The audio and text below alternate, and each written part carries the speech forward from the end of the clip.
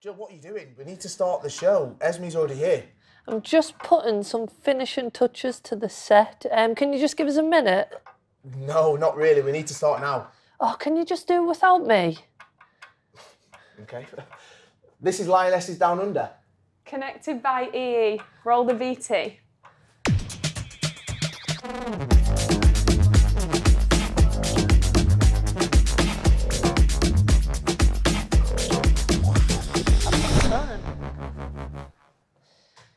Welcome back to Lionesses Down Under, connected by EE. Welcome, Esme. Do you like our new home? I love it. It's stunning. So Well, we'll be talking about more about that in a second. But of course, here on the show, we want you to get involved as well. Any messages of support, any messages for Esme, get in touch and make sure you use the hashtag Lionesses Down Under. We'll be reading out your favourite ones, so make sure you get typing. We'll want to read your questions. Yeah. Now, yesterday we moved to Terrigal, which will be England's base camp for the rest of the tournament. And we just want to acknowledge the Darkinjung people as the traditional custodians of the land on which we're filming our show today. We'd like to begin the show by paying our respects to the elders past, present, and emerging. So, Esme, welcome. How are you settling into your new digs? I really like it, to be honest. We've had a little bit of downtime today, so it's been nice to kind of get out and have a little bit of a wander around. It's so lovely at the beach. Although the water looks a little bit cold and choppy. I heard it smashing against the rocks last night. I couldn't, could barely sleep. Now, this is it. I mean, look at it. It looks absolutely amazing. We got a sneak peek, all right, because we were here yesterday about 20 minutes before you. So we ran straight in and wanted to see it all. But everything you've got in there, I mean, even down to this, you've got photos, you've got quotes, you've got everything that you need to get the, the team all together. Yeah, the detail is amazing. When we oh. all walked in yesterday, we were all kind of necks hurting from just gazing round, jaws on the floor. So, so nice. I love the little book corner. They've got some great books in there. I think the darts board and table tennis have already been put to lots of use. And there's little like arts and crafts things as well. It's just so cute. We've literally got everything we need. Oh, do you know I was actually the first person to throw a dart? I snuck into. Were the- you that one that missed the board then?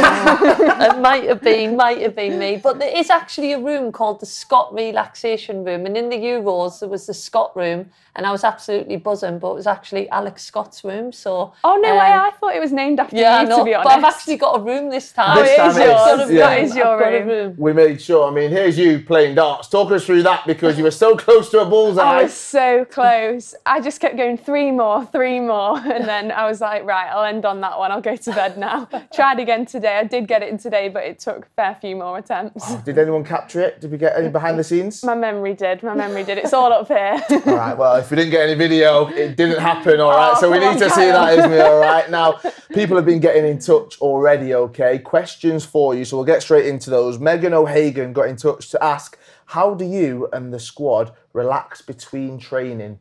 You've just seen that room there. The reading one, is that where you'll we'll find you throughout the rest of this tournament? Yeah, I have been working my way through a book. To be fair, I've finished it now, doing a bit of uni work. But I think the most popular thing will be the table tennis, and also we've enjoyed just watching the other games. Like there's a big screen and stuff um, in there with bean bags and everything. So we'll probably all just get together and watch the other games that are going on because they kind of go one after the other throughout the day, don't they? So it's quite nice to kind of just relax and have a laugh and watch a bit of football.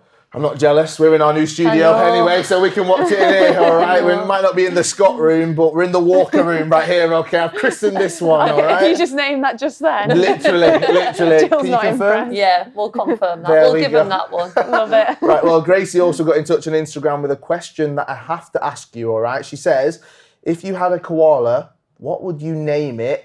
I think Jill is a great name, to be honest. That's what Gracie says, all right? She Jill thinks the Jill. koala bear. Jill the koala.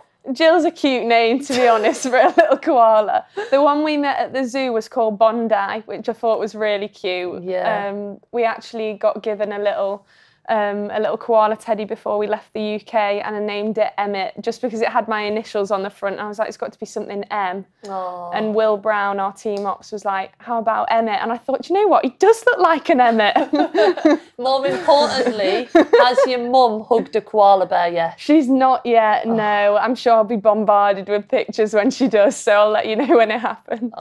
Everyone's been doing that, I feel. I mean, obviously being here, it's so nice to see being able to get out and about and experience all of that.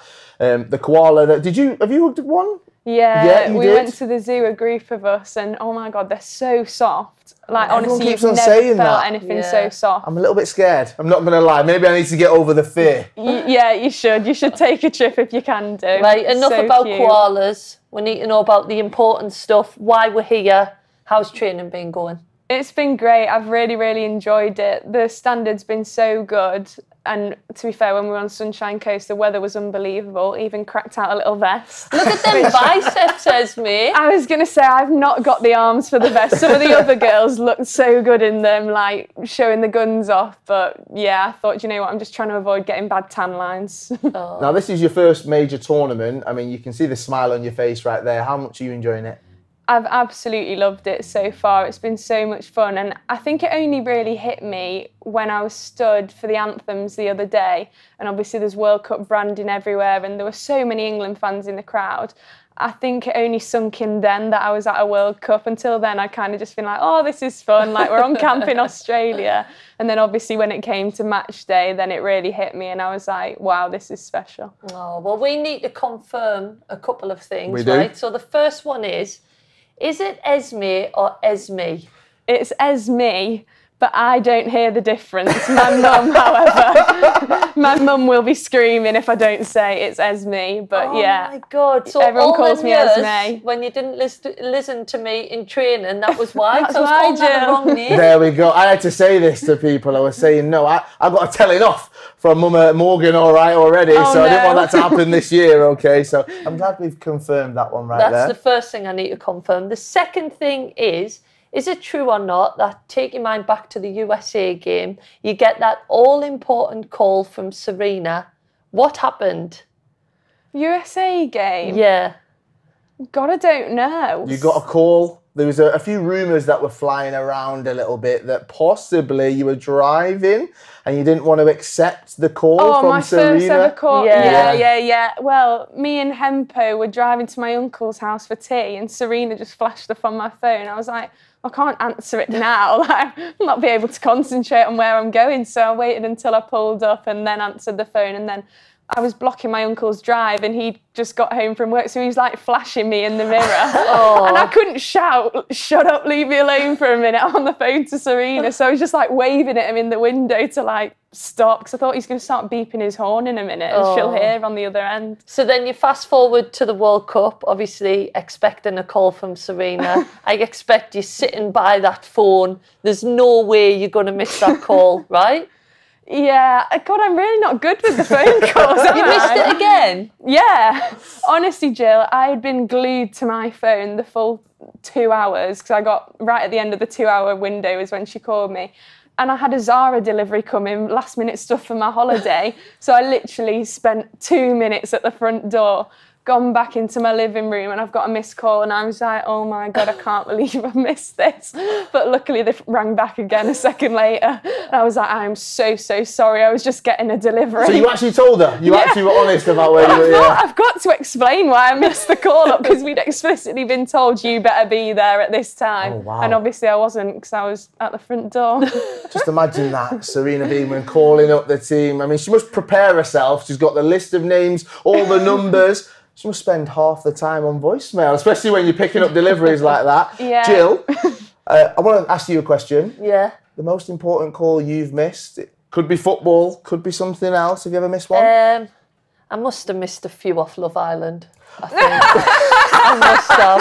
I think that's how I ended up in the jungle. But yeah, that's all I can think of. the wrong number from ITV. There we go. There we are. All right. I think I missed those calls as well. All right. It's been two ga- Let's get back to the uh, football. All right. Uh, it's been two days since the Haiti game. Denmark up next. All attentions are obviously firmly set on that one in a few days' time. These games they come around so quickly. You're all back in preparations. Talk to me about plans for the next few days, though.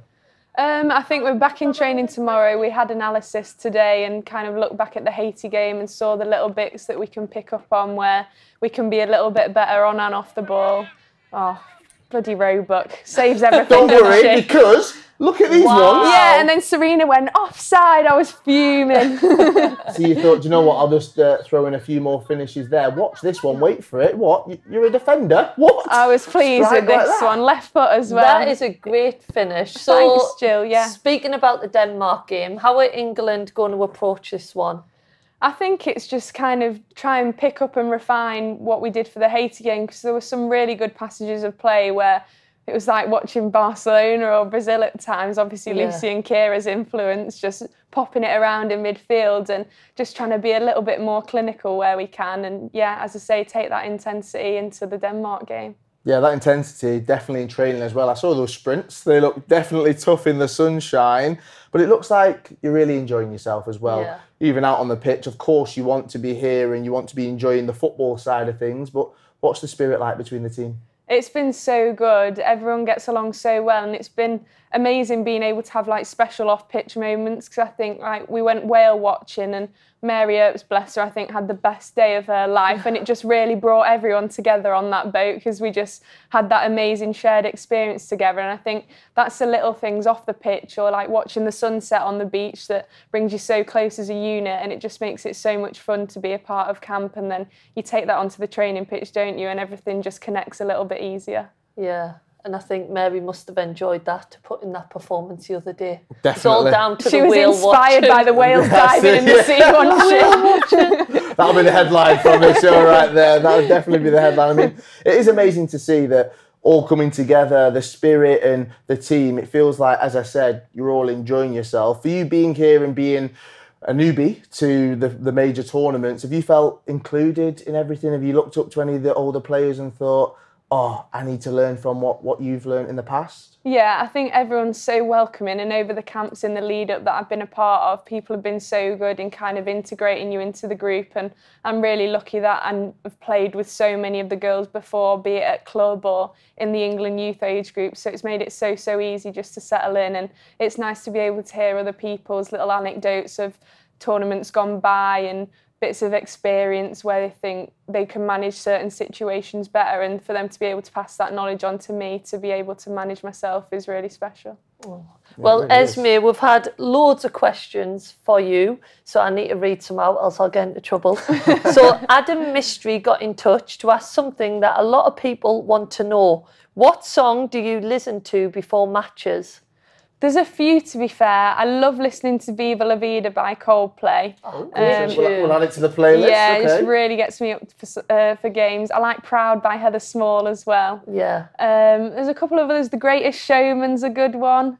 I have random stuff though now. Before my injury, I listened to the same like 10 songs before every game, but now I tend to just switch it up a bit and flick my playlist onto shuffle and whatever comes on, I'll let it take me through to the game. Oh, interesting though you mentioned 10 songs, right? Because we're going to try and whittle it down because Holly on Instagram, she asks this, if you could only listen to one song for the rest of your life, what oh, would it be? no. This is tough. That's a difficult That's question. really hard. Oh, I would probably go for Viva La Vida, to be fair. It just puts me in such a good mood and it's a sort of summery, happy tune. And I went to see Coldplay live this summer and the memories are just amazing. Yeah, they are good live. One of the best bands I've seen. Yeah. So I know you've been watching Lionesses Down Under Of course. every single day. Every minute of it, Jill. So Love you'll that. see that we've been trying to start a Lionesses band, and we've been told that Katie Zelem is the music maestro of the group. I thought you were going to say she's the singer. I thought definitely not. Well, wait for it. Wait for it. We've got Georgia Stanway as the lead singer, but we know Yeah, that you she's can good, G. you can add effects and stuff No, like that. I think she's all right, to Is be she? fair. Yeah, so, something she was singing the other day, she was really good. Do you know what she does well? Nickelback. Does like she? that She She said that. Yeah, she said on the show. that they she- had yeah. it on the couch yesterday, and I could hear her behind me just growling. I was like, Growling. Wow. well, she's got the lead singer role, Yeah. but we've also heard that you've got some musical talents too. Take a look at this. Oh god. Oh no. Take me home to the place. Ah,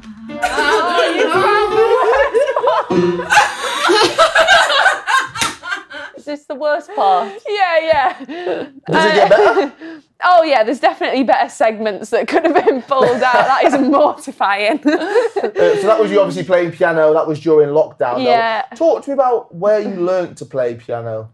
Just on YouTube, like um, when I moved to City, I moved in with a host family because I was 16 at the time, and they had this amazing grand piano. Because Alan, one of the house parents, is incredible. Like play him a song on your phone, and he can just repeat wow. it on the piano. It's amazing.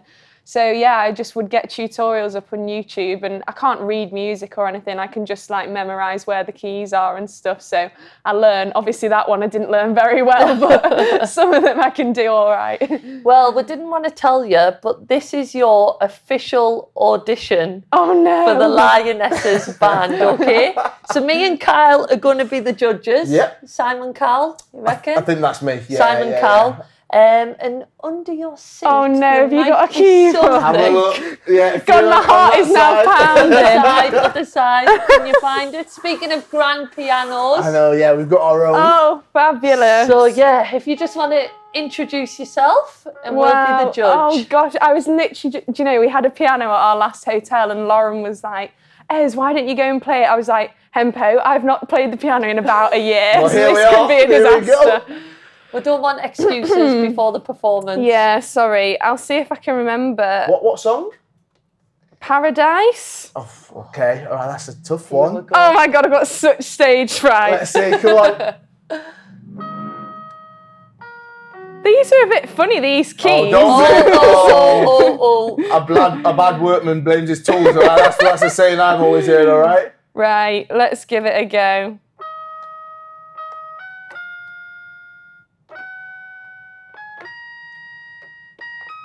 Oh.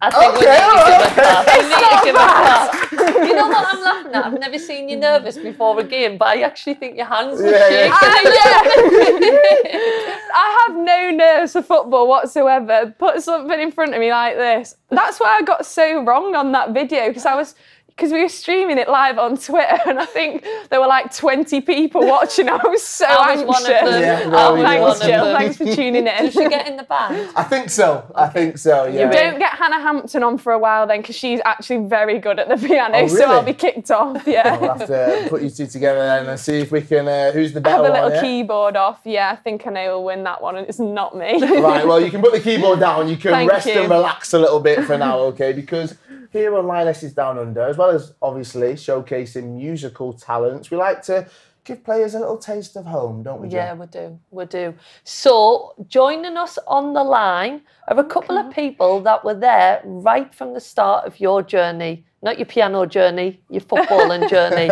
So, we've got father and son, Martin and John Windle, No way. who were your first football coaches at Ecclesall Rangers. Welcome, guys. How are you doing? Oh my god! Hello. Hi, Yasmin. Hi, Ez. Hi You Martin. do Hi John. these, don't you? Absolutely, I do. Yeah. Now, Martin, I want to come to you first, all right? Because Esme joined you from a very young age, all right? The age of four, I believe. What was she like as a youngster? Um, well, I mean, when you consider we had 30 to 40 children, and Esme was Esme was the only girl in that that that age group with me. Um, so it, it was never a problem, but you could tell that she was different, and she held her own with everything. So I mean, it was just a case of doing what she always does, enjoy Wow. football. Oh. She's always enjoyed it from a young age, anyway. Yeah, and then John, you coached Esme from six to under 15s. Did you always know that she had the ability to make it this far in the game? Hundred percent, definitely, definitely. She, you got to remember as well, she weren't playing on like academy surfaces and things. They were, we were stuck on boggy fields, and she was there like smashing it with the boys. She, wa- she was class. You could just tell straight away. Oh, Well, what a look at you picture that is as Esme grew uh, a bit older there. Nearly as tall. You're not the tallest in there though, Esme. That's No. surprising on that photo. That was that year. I only played for a grassroots girls team one year, so I used to play for them on a Saturday and then play for John's boys team on the Sunday. Oh, and I look brilliant. back now and I think, how the hell did I do that? Because the day after a game nowadays, you're absolutely shattered. There's not a chance you play again the next day. But I just absolutely love playing with the lads because, as Martin said, I was there from at school when I was literally just about able to walk and we'd all be kicking around on the school field and yeah those are just the best memories i absolutely loved it Oh, Well, Martin, I want to come back to you because how proud are you? I can see by the smile in your face, and when you're popping up here, you see what Esme's doing now. To have a player that you coached now representing England at the World Cup, how special is that? It's just amazing. Yeah, brilliant. Um, it couldn't happen to a nicer young woman or a family. They are amazing. They are absolutely. She's brilliant. Yeah, and hopefully it's the start of en- encouraging lots of other people in our club, girls in particular, to just do what uh, Esme's done. yeah. Yeah, brilliant.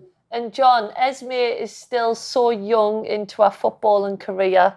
What kind of potential does she have? Oh, oh, massive, absolutely massive. She, you know, uh, like like like my dad's just said, we're just we're just so proud of her. And as as a club where she started, it's not just us; it's it goes through through the club. She's inspired so many so many people, and she'll carry on doing that. Um, so we we love her to pieces. She she she's got so much potential. She's class.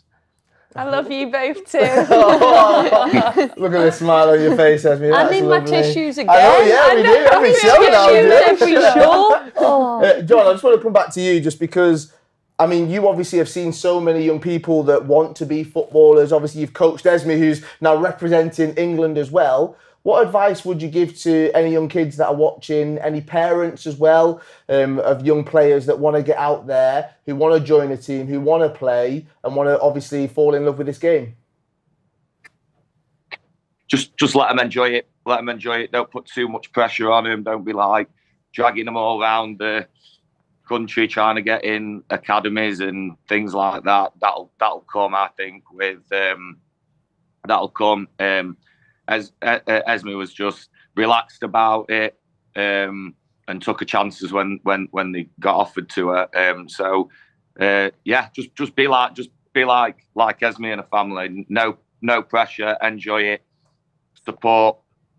Never got any grief off her mum and dad for making bad decisions and playing her in wrong position. the only time I got any grief was uh, was when I called her Esme right at the start. I've had that before. I've had that before. Okay, I can relate to that one. All right. Oh.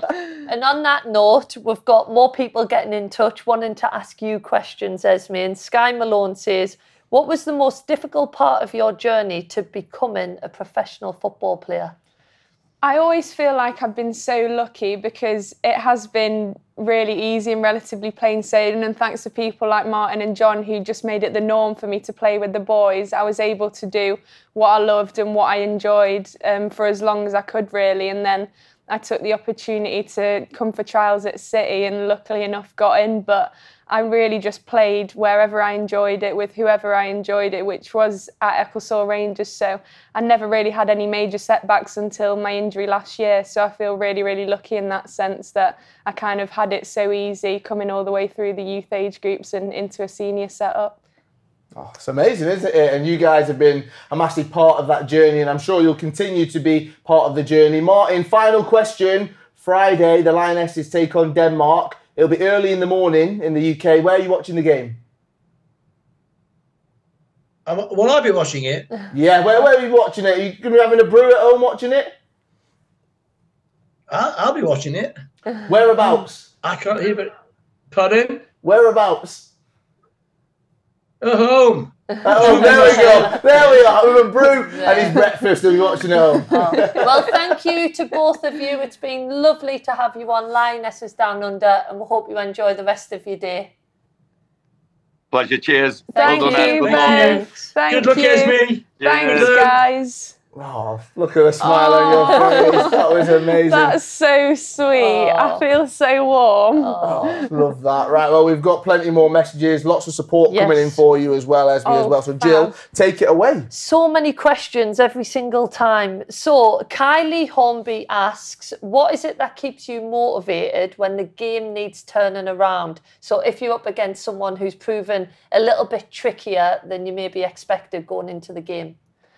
I think I'm a very, very competitive person. So if someone's got the better of us, I'm desperate to kind of turn it round and get back on top. And I think you learn the most when you're struggling a bit. And I think those are the things that make you more resilient and kind of help you in future difficult situations because you know you can turn it round, you know you can come out of the other side of it. And everyone loves a challenge. So it's almost nice to have someone coming up against you, makes life difficult. You really want to say you just want to nail them, don't Yeah. you? Esme, slide and tackle, nail them and get on with the game. So Elise also got in touch on Insta and wants to know what keeps you so happy. You always seem so bubbly. What's the secret?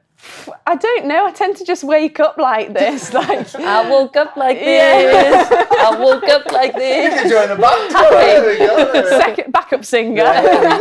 Definitely back up. No, I don't know. I think I just I wake up in the morning on a good level. Like something would have to happen in a bad way to like bring me down. Yeah. I would- my baseline is higher than a lot of people. I guess I don't know. Okay, so also perfect treats. I don't know if this is a dog that's some somehow so. It Must be, must yeah, be, yeah. yeah. Wants to know if you could play with any past player, who would it be? Past player. Are you counting No, nowadays, Jill? She's already done that. She's done that. Oh, I don't know, you know. I got asked the other day about a load of American legends who've been so successful, and I had to admit, like, I'd never really seen them play because my first experience of women's football was around London 2012 when you guys were playing for Team GB. Um, but I'd probably have to go a Mia Hamm or someone like that, Yeah. someone who's so well known um, as a legend of the game. That's a great shout. And last one, Kira on Insta has a cheeky question. Oh, Who is your no. favourite presenter, Oh. Jill or Kyle? Oh no, you can't do that to me. I can't. I've known you a very long time. I've known you a very long time as well, Jill. But me and Cal got became friends last summer. Yeah, we spent the Euros together. We travelled the UK watching you, so. I'm trying to decide who's going to hate me more right now. if No, I it's do. all right. I'm used to it on this trip. Everyone loves Jill. Okay, Uh, Jill. So I'm used to it. So it's all right. It's fine. It's okay. You're definitely the best presenter, No, no. so we'll, we'll give that to Kyle. She's new to the game. All right, okay. Well, we've got my favourite part of the show, all right? Because as I always say, we get to take two minutes off and we throw things to you. Why is that? Mm, well, we've got these envelopes filled with questions, all right, from all of your teammates. They're all anonymous. From my team. Yeah, they've written them all down. For all me? right. Yeah, well, we don't know. They're for everyone. Oh, so right. you'll get to pick one of them. Only one. Open it up, read it out, okay? And then you'll be able to answer one of your teammates' questions, all right? So you get the choice in this one. Going straight for the middle. Okay, oh. all right. So open it up. What's the question say? It's all on you, Esme. Oh, yeah. I know. Do you feel like you can have a breather now? Yeah, um, yeah. Might get a cup Take of tea. Take a back seat. Milk one sugar. What is the wallpaper on your phone? I think the lock screen is. Oh, you've got different. Oh, Yeah, I've got different ones. The lock screen is Havar, um, where I went this summer with Sandy and Hempo, just the harbour. It was just I so, thought you so said pretty. far then. No, I was Cro- like, what was Croatia? No. Havar, Havar, Croatia, yeah. Croatia. Very nice. I don't know how to say Yeah, it. It's yeah. stunning. And then my actual, actually, it's a bit cringy, my actual No, wallpaper. come on, come on. Look at me. Everything stays in house, don't Um, worry. No one's watching. It's a bouquet of flowers that my boyfriend bought me. Oh, yeah, that's really cringe. yeah, exactly. We've got to move on from that. Sorry. I can't give her that one. Can I just say, I took quite an artsy picture of it though, so it actually looks quite cool. Like it's not just the flowers; it, Okay. it's quite an artsy picture. Is he in the picture? No, it's just the flower. Like it looks cool. I'll have to show you after. Okay. I can't give her that. I can't give her it. Now, Esme, we've seen that you're competitive with the dart, so Yeah. we thought we'd put you to the test. Are you up for being the first ever player to face do do do the tower? The tower. I'm ready, Joe. Right, well, here's a little explainer of how the game works. The player will have 30 seconds to carefully remove blocks and place them on top of the tower. The more blocks you move, the taller the tower and the more points you score. Five points are awarded for each complete level built during the 30 seconds. Look out for the special golden blocks hidden in the tower that are worth an extra 10 points if you can stack them in time. But be very careful because if you fumble, the tower will tumble and you'll score zero points. So Lionesses, are you ready to face the tower?